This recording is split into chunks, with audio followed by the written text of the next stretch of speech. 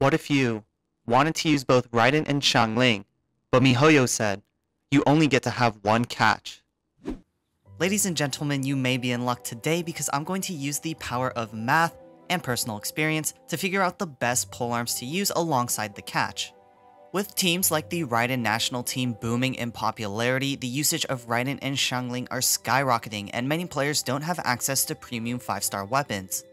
On the other hand, you may simply just be using your best weapons for their intended characters like Hu Tao with Staff of Homa and Xiao with Primordial Jade Wing Spear.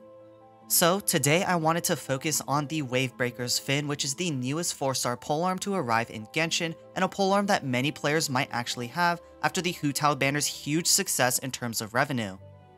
You're probably wondering, is this weapon really better than the catch? After all, the catch is widely considered to be one of the best 4-star weapons, period.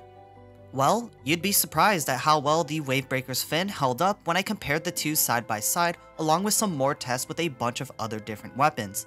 Here's how that went. First, to test my limited arsenal of weapons, I simply decided to observe the damage of each weapon under a fixed environment. So, if you're curious about the behind the scenes for my guide videos, here's a glimpse at one way that I test weapon options for different characters. I'm going to lay out a little bit of the math onto you guys, but don't worry, after I talk some more about the test that I did, I'll make sure to keep the summary of each section's results short and simple so that I can provide value to both casual and more serious players at the same time. To start out with Raiden, I just recorded her big slash at the start of her elemental burst for each weapon, both under the circumstances of having no buffs and under the circumstances of having Bennett's attack buff. The four weapons I was able to hand test myself were Wavebreaker's Fin, the Catch, Skyward Spine, and Deathmatch. The results were then laid out in this Excel table with both the raw numbers and the percentage difference using the Catch as our baseline. A short summary of what you're seeing here is essentially that Wavebreaker's Fin will outdamage the catch in both scenarios. On the other hand, Skyward Spine is almost as good as the catch without buffs because of its high base stats, but once we start adding some buffs, that base stat advantage diminishes and the catch pulls ahead. And of course, it was expected that the deathmatch lagged behind quite a bit in a one-shot test and is basically pure copium because at that point it might even be better to just run Favonius Lance for the extra energy and higher base attack. Now if I were lazy, I could just end the video right here and say that Wavebreaker's Fin is the clear best option. However, that's not the case. We can't just take a one-shot test and make a claim about the newest polearm, since there are a lot more factors that go into testing certain polearms. At this point, the biggest factor inflating Wavebreaker's value in the analysis is crit rate. If you didn't notice before, Wavebreaker's Fin is the only weapon out of these four preliminary weapons that doesn't grant crit rate. And if we only do a one-shot test and record the maximum values, we can't factor in the value of crit rate at all. Skyward Spine also grants Raiden another useful buff with attack speed, which is an important variable that makes Skyward Spine a decent pick. So, if you couldn't guess, the only rational thing for me to do at this point was to start testing full rotations. Just like the previous tests I did, the tests both had unbuff damages and buff damages with the help of Bennett. This time we would do a full rotation which would consist of a big hit plus the two full normal attack chains and a third normal attack chain minus the very last hit. In the case of Skyward Spine, we were able to finish off the last attack of the third normal attack chain, so that's where the extra attack speed gets factored in. And of course, to factor in for the crit rate, I would repeat this test over and over and over, and then average the damages for each weapon instead of trying to find the maximum damage as if we crit every single attack. The results pretty much mirrored the one-shot test with some slight number changes that I'll go on to explain in a second. Obviously, the deathmatch continued to be copium and lagged behind for as much as 30% less damage than the catch in a single rotation. Wavebreaker's Fin still did more damage than catch in both scenarios, but the percentage difference was less, most likely due to less crit variation thanks to the catch's passive.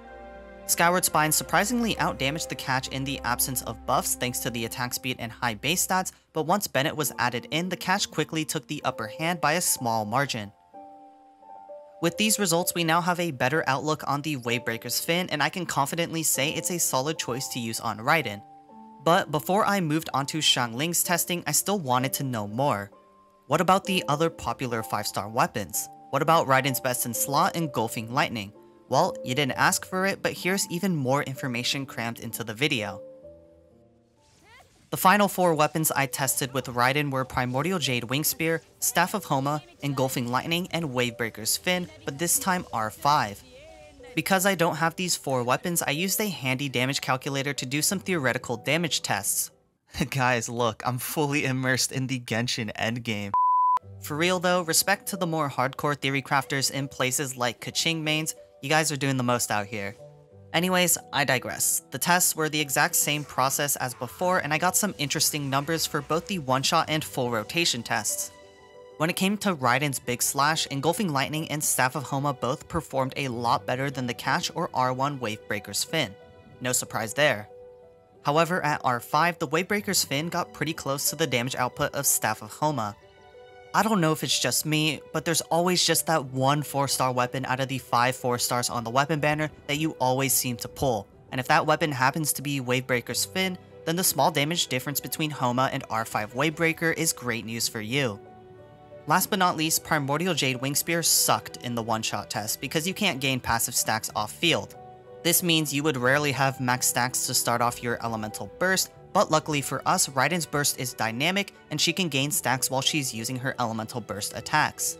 This handy little detail is reflected in the full rotation test, where now if we account for the ramp up of stacks on Primordial Jade Wing Spear, we get around 5.5% more damage than the catch without any buffs, and only 0.5% less damage with buffs.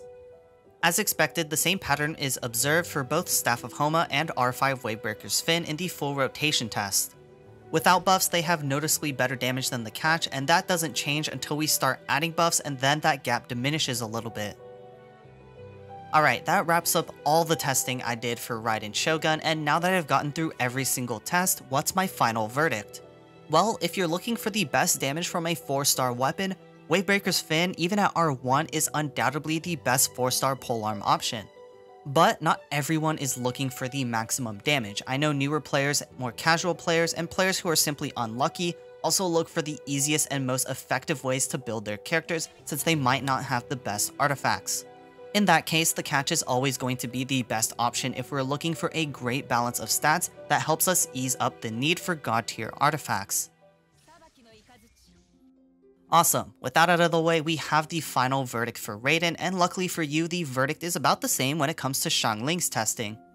Using the same exact artifact set as my Raiden, I only have to know a few differences in the results. First things first, Deathmatch lags behind a lot less, which is another nice option for low spenders, but still not quite as good as the Catch or Wavebreaker in terms of damage. Second off, the most important thing to look at is how R1 Wavebreaker is a little worse on Xiangling compared to Raiden. Now, the catch at R5 can even outdamage R1 Wavebreaker if we start adding in multiple sources of buffs, in this case Raiden's burst bonus and Bennett's attack buff.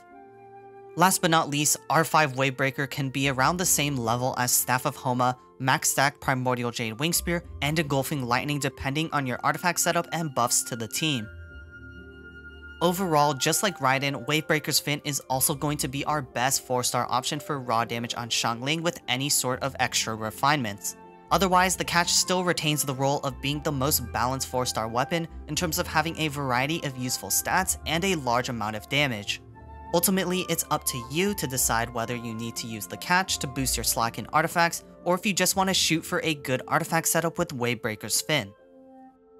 And now onto the final question of this video, should I choose Xiangling or Raiden Shogun to use Wavebreaker's Fin? The answer to that is most likely Raiden over Xiangling based on the observations we made today.